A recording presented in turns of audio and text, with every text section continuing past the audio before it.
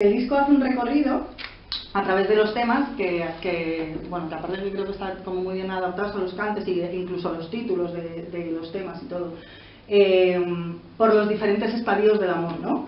Pues recorre el deseo, el anhelo, la espera, la desesperación, el reproche, el desvelo, qué intensidad, ¿no?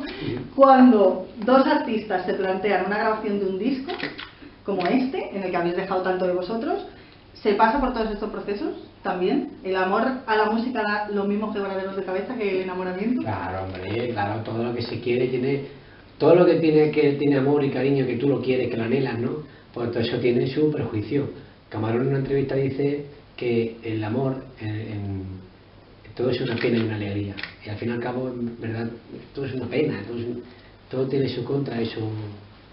¿Me entiendes? Porque tienes que llegar ahí, si no todo sería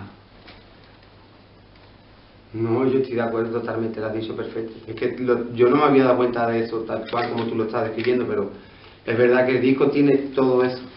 Tiene reproche, tiene desvelo, tiene ese punto de, alegría, tiene ese punto de tristeza, de frustración, que el amor está lleno de frustración.